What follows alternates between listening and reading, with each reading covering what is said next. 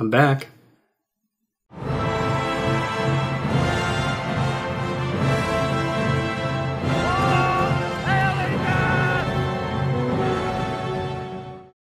Hello and welcome to a long overdue update for Project Pelennor. Uh, it has been a long time. I'm sorry. Uh, I know there have been people, some, some people who've been actually requesting this. That means a lot to me because I did this with the intention of thinking like no one's ever to watch these. Like this is it was more of a cathartic thing for me. Um, but I'm very touched that you know so many of you have watched them. So many of you actually asked if I was doing more. So I'm doing this. It's, it's still very much for me, but thank you very much. Uh, and I am going to start doing more videos. Um, it's been a long time. Uh, a lot has changed, but you know, there's some things that are the same. Um, I do have one announcement, which is a new co-host. So this is my new co-host, Pablo. Um, he's not the most talkative or even helpful co-host. In fact, he kind of destroys more miniatures than he than he helps me with. But uh, yeah, this is Pablo. Got him over a year, not over, uh, almost a year ago, and he's squirming away right now. So there you go, buddy. You will probably hear him in the background. Uh, anytime that my attention is not 100% on him, he likes to tell me about it, so you'll probably hear him. So, for many of you who know, uh, I started this project after the passing of my cousin uh, Boo, well, Andrew, but we called him Boo. Uh, and it was focused around Lord of the Rings. Um, we had played that system more than anything else. But I'll admit, I've kind of cheated on Lord of the Rings over the last little bit. I think after painting, oh god, I don't know even know how many it was. I think the last count was 211 miniatures, something along those lines, and I've painted even more on top of those. I just kind of needed a break. Um, I need to be very interested in what I'm painting because it is it's really time consuming. And so if you're not really, you know, if you're just painting an orc just because you're like, well, I gotta paint an orc, I guess, like it, it kind of kills it for you. So I have branched out a little bit, which Boo did as well. He didn't just paint Lord of the Rings; he also painted 40k. He had quite a Grey Knights army put together, which I've always liked the Grey Knights as well. So I'm sure someday, maybe when they have new miniatures, because some of them are pretty old. Uh, someday I'll probably do a, a Grey Knights army uh, for him. But uh, speaking of Grey Knights, I have actually kind of fallen back in love with another old love of mine, which is the Horus Heresy. So Horus Heresy Rules 2.0 dropped, uh, what is that now? Over a year or two ago. Uh, it's been a bit. And I was really excited for it. Um, still haven't got the box set yet, which I should, but it's like, it's over $300, so, you know, I've been biding my time on that one. But uh, I decided to start an army of Dark Angels. So, Dark Angels in 40k are green.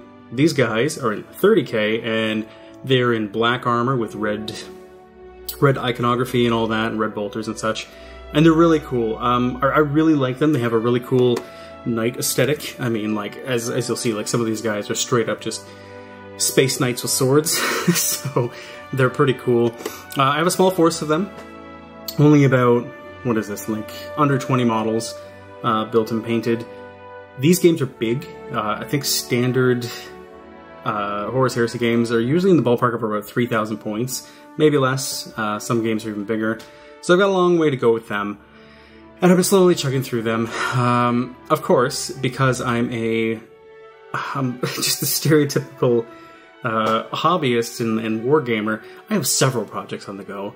So I can't just have just one. I mean, because you know I don't like my time or money apparently, um, or having money at least. So yeah, I uh, I also have other miniatures for a game system called Zone Alpha, and uh, it's a post-apocalyptic tabletop game. Um, I believe it's based off the Stalker series of video games, and it's really cool. Uh, a friend of mine, Rise, he uh, he kind of showed me the rules, and I'm very very interested in playing that at some point again. And yeah, so I have a bunch of models that uh, I have actually painted for that, and uh, I even have a tank that I've uh, built and painted, and now I'm just working on weathering. I've never done weathering before, so this is kind of a, a new thing for me. Uh, I'm using like oil washes and and like dust and things like that to make them really look like rusty and and like you know if, if a tank's been sitting out in the field for like 20 years, like that's kind of the the vibe I'm going with. So yeah, so I have been busy. There's been a part of me that I guess I haven't made videos because I thought, well, I'm not making Lord of the Rings right now, so I don't really have any updates for that. But it kind of dawned on me that this isn't just about Lord of the Rings. This is about the hobby of, you know, building and painting miniatures and playing with them on the tabletop, and just kind of that community. Uh, and I guess, yeah, it's I've, I've always loved Lord of the Rings. I always will, and I have my armies set. But I guess the original goal of painting the entire box set of the Pelennor Fields was done a long time ago, and I had expanded, and I have a few armies now built and painted, and I'm I'm very happy with them. You know, it's it's strange to say because I know like a wargamer's work is like you know is never complete, but they're almost there. Um, and yeah, so I'm I'm feeling you know like their chapter isn't over. There's still things I'm adding to them, and like a few like I need some dismounts for my cavalry and things like that, but. I'm, I'm happy with them. And so I've kind of moved on to other things, uh, which brings me to my big announcement because, again, I'm a degenerate when it comes to this stuff. Um, the anniversary of Waterloo was a couple of days ago, and there's a a, uh, a store online called Victrix Limited or Victrix Miniatures. They had a sale on 28 millimeter Napoleonics. I have always been into that time period. For many of you who know, I'm actually a War of 1812 reenactor. I'm a captain of the 1st Kentucky uh, Rifles. And so, yeah, like black powder, like it's in my blood, you know, like I love, I live for that stuff. So I've always wanted to do Napoleonics. I actually have miniatures that I had built and painted a long time ago, back when I really sucked at painting, so I almost don't want to look at them. Uh, I, I will. But uh, I just wasn't sure what to do with them. And so opportunity kind of knocked. I was like, hey, here's an amazing deal. You can have 180 redcoats, and it was an amazing price. And I was like, shit, I guess I'll do this. So now they're on the way. Uh, I've also purchased some 95th Riflemen, and I'm looking into how to base and paint everything. And there's a game system that I've always wanted to play called Sharp Practice.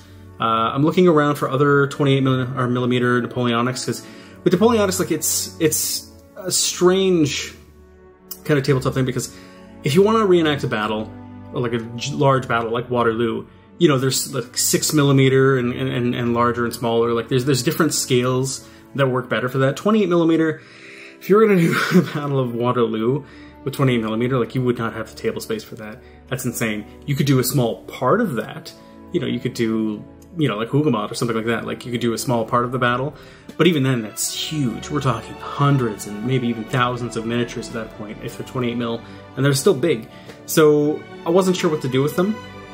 But then I came across Sharp Practice, where it's more of a skirmish game, which First Kentuckians were skirmishers. I'm like, hey, that kind of speaks to me, you know. Um, and so it's a little more smaller scale with larger scale models, which I'm interested in painting and, and building. So that's it. That's the new project that's on the way. Uh, I'm excited, uh, nervous. I mean, it's a big project that I'm getting into, and I kind of want to take you guys along with me. So they should be arriving in the next couple of weeks. Uh, I think I've decided what I want to paint them as. I think I'm going to make them the first Royal Scots because they have the advantage of having been through there throughout the Peninsular, Peninsular campaign. They've been there at Waterloo, but more importantly to me, they are also there in the War of 1812. I mean, every summer we reenact against the Royal Scots because there's local reenacting groups who actually portray them. So it, that's kind of cool to me, uh, which definitely means that I need to track down some miniatures to be the first Kentuckians because I don't have to explain that. So yeah, so I'm gonna do this. Probably gonna end up getting some French at some point too. Uh, because, I mean, why just stop at the British? You need to have somebody to shoot at, right? But, uh, yeah. So, I've been rambling. I'm a rambler. I'm sure you guys remember that. Uh, it's been a while, and I'm excited to get into this. Uh, I'm going to take you guys with me for this project if you're, you know, if you care to stay. And yeah, um, so just in closing, I, I never stopped. I've always been here painting. I just wasn't sure what to do with this. And you know what? This project's bigger than Pelennor Fields and, and the Lord of the Rings miniatures, so I'm not done. So. Hey everyone, it's me again. Um, pardon the change in quality, I'm doing this on my phone because I'm lazy.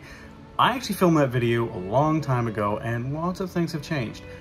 Don't worry, I'm not abandoning any of the projects I talked about. In fact, I've already painted quite a few between then and now. Uh, I should probably get the cadence of these videos down because, like I said, a lot has changed. Since then, I have actually discovered a gaming group that plays Lord of the Rings. So I've been bit by the Lord of the Rings bug again. I am woefully, like 100% uh, back into Lord of the Rings. I've played several games against some great people, and it's just reinvigorated my love uh, for that game system and just for Lord of the Rings in general. So there's going to be more Lord of the Rings miniatures. In fact, I think I've painted about 20 Lord of the Rings miniatures between that video uh, and now, which that was like two months ago. Uh, so I've been playing several games, testing out lists, meeting great people. So there's going to be a lot more videos about that. Uh, again, not giving up on, on my Waterloo project or anything, because I mean, I'm going to finish these guys too but Lord of the Rings might be back in the driver's seat.